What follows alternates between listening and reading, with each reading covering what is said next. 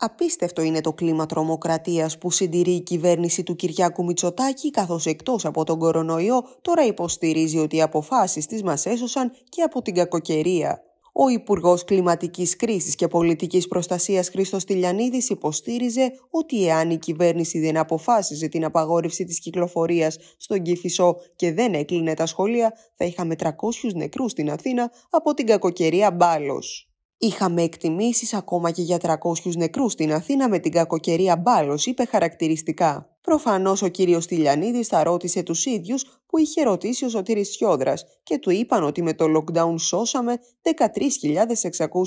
13.685 Έλληνες από τον κορονοϊό, ασχέτως εάν έχουμε ξεπεράσει προπολού τους 15.000 θανάτους ή μάλλον αυτούς που έκαναν τη μελέτη την οποία παρουσίασε χθες ο καθηγητής λοιμοξιολογίας, σύμφωνα με την οποία με τα εμβόλια σώθηκαν 8.400 άνθρωποι.